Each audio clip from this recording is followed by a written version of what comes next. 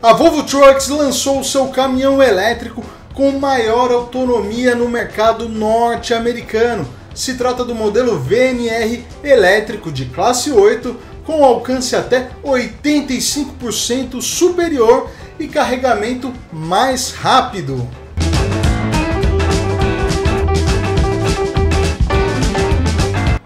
Beleza, pessoal? Eu sou o Gustavo Queiroz e eu preciso do seu apoio eletrizante. É só clicar no troféu joinha, não paga nada.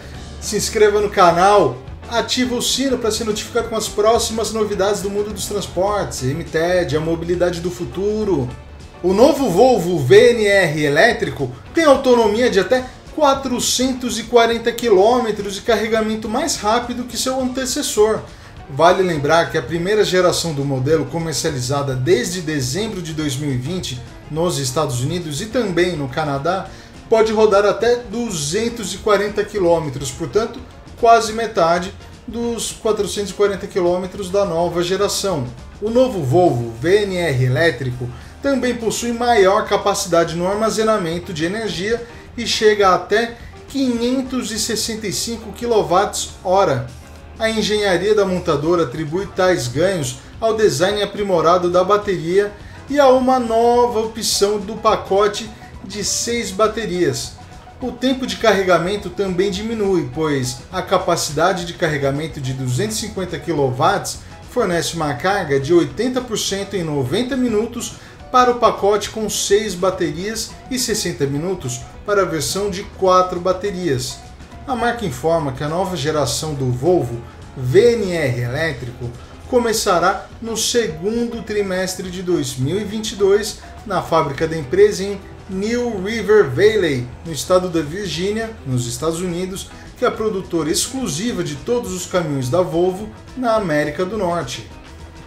Globalmente, o grupo Volvo estabeleceu como meta que 50% de todos os caminhões vendidos da marca sejam elétricos até o ano de 2030.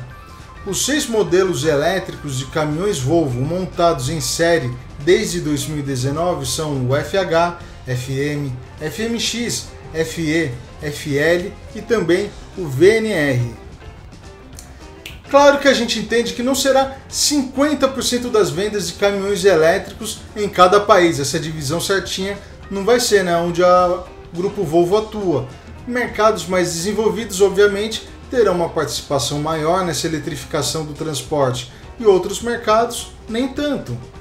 Mas a minha curiosidade é qual será a participação do Brasil nas vendas de veículos elétricos da marca nesse horizonte até 2030.